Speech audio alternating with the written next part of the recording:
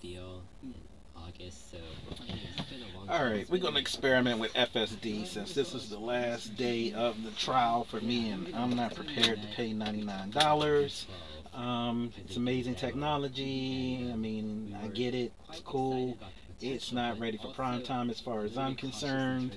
And let me see if I can find a back road route if it gives me an option. It is not. So, We're gonna go ahead and see how much of this that I can do without um, disengaging, and we'll make this little video. I'll probably speed it up. Of course, drove it So, Austin, you know, this is a Angeles, drove it quite 20 bit minute trip, 15 On the way out miles, and I'll probably one of our triple speed it or something to keep the video under 10 minutes. so every cross-country trip turns- And it's- ends up being if I, than otherwise would be. But I may stop at the end and do a little synopsis of the trip, but it ain't really necessary. Y'all gonna see what, what, what it's about. And, and um. And so you get a chance to see what it's like in you know this town or that town. Or, um, different you know highways are different. We drive a lot of rural areas, so I got lots of rural. We uh, we did like the whole backcountry tour coming out here through across Texas, and so I feel like it was it was a good experience for like trying to compress a whole lot of FSD. Uh, Yeah. And I gotta say, I'm just like really do, impressed. it's, do. I was not Okay, expecting be so-. 'Cause It's a really like this is not a small change Yeah. to Oh. With crap. Sorry, folks. with- Let's see here. V11, we had gotten to a point where mirrors. perception stack was good enough that we just weren't seeing Okay, now yeah, let's go back. just- Let's try people, this almost all the complaints people had had to do with planning, not getting the right plane, not being able to move far enough over, um, not knowing when it was its turn. Please keep your hands on the not being in wheel. I don't know if it's gonna really make me keep my hands on the wheel. I got a little um, FSD podcast playing in the background because I didn't want to get hit with the, um, you know, by playing any music and head-to-head, so it get any copyright infringement. I don't know what. I'm gonna do with this video, if I'm gonna post it or not. So, um, notice the wheel's turning itself. It just turned the signal. It wants to make the left turn here. Um, oh, hold on. There's somebody on the scooter. Come on through with the scooter. It's not going. Yeah, there you go. Go on. There's all of these layers of stuff. It's going to ease up. It's not going to pull out. There's traffic coming from the left and the right.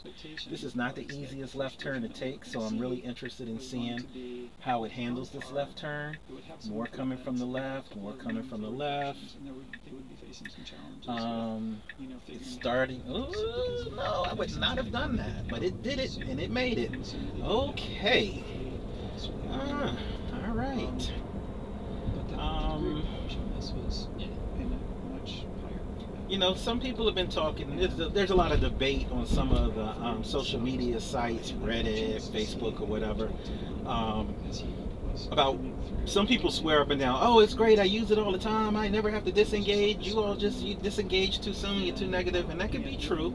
I mean, I personally would not have pulled out like that on that car. Obviously, we could have made it. We did make it. Um, and but there are times when FSD does some stuff that's just not the move. Jumping in front of cars um, with not enough to spare um, doesn't really pay enough respect to semi trucks and other types of large vehicles that a naturally a human would normally do. Um, sometimes it jumps over, it changes lanes, like moves over to the left lane, knowing there's a right turn coming up very soon. Something that you just normally would not do. And there's little little nuances like that to the driving that eh, you know it drives like an inexperienced driver. I think that's the best way to phrase it. Um, now, other notes. There's times when FSD does some stuff that I just truly find remarkable. I've seen it um, avoid some things in the road. See this hard stop. It like It's it's green. Why did we stop? We didn't need to stop. Um, now here, now here's a car making a U-turn in front of us. How does it deal with that? Okay, it slowed down a little bit. It hesitated. Then it picked it back up. The car behind me is irritated because I stopped at that green light to make that right turn. And you know, he couldn't see what was coming from the left, um, probably to the level that I could for that matter.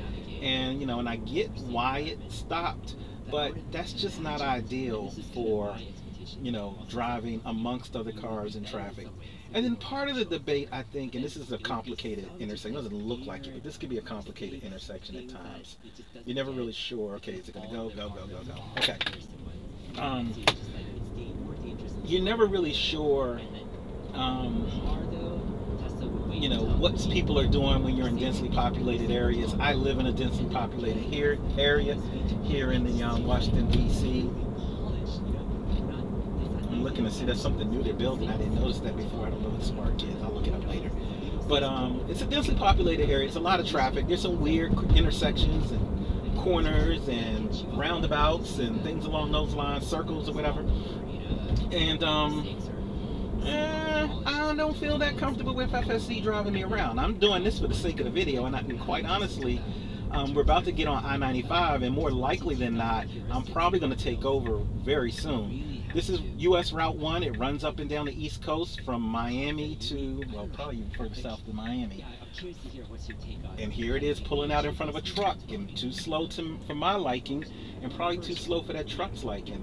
There's a lot of cross traffic coming up at these intersections in front of us on Route 1.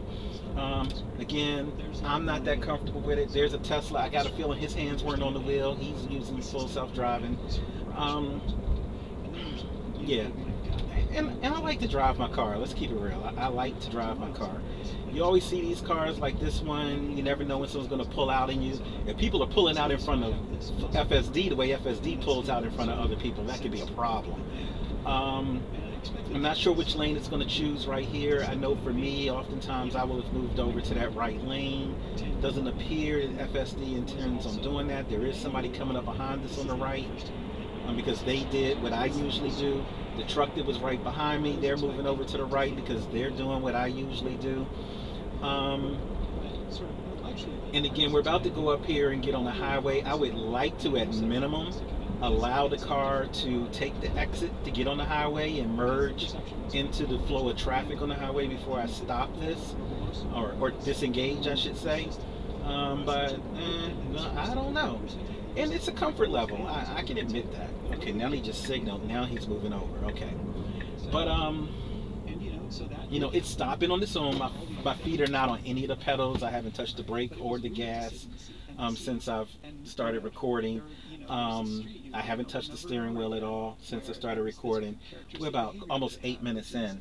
Um, we could be this could be a 10 minute video if I don't speed it up and I just let it merge onto the highway, which is what I'm seriously considering doing. And let me turn that down because I'm not even listening to the people. Pause it. Um, but all in all, FSD is amazing. I know Tesla's driving to the Cybercab thing. I don't really care for to, to have to have FSD. It's not something that I purchased the car for. It wasn't where I was going with it. I'm much more interested in the um, electric powered vehicle, not having to buy gas.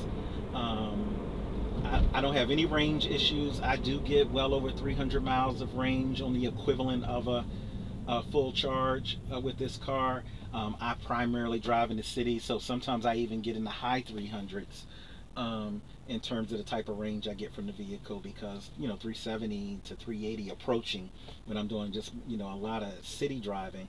Um, highway driving, of course, it does depreciate. It can get down to around 240, 250 miles on what would be the equivalent of a full charge. You never really full charge. You're always charging like between 30 and 70 percent or 30 and 80 percent, something along those lines, and um, or maybe even 15 and 95 at the widest range. But typically you're hanging out between 30 and 70. So you see that Camaro just took off.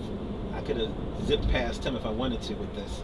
Um, I want to see if I can let this car, I don't know, this truck seems like he wants to get over. Tesla's immune to that. The Tesla is now going to take this ramp.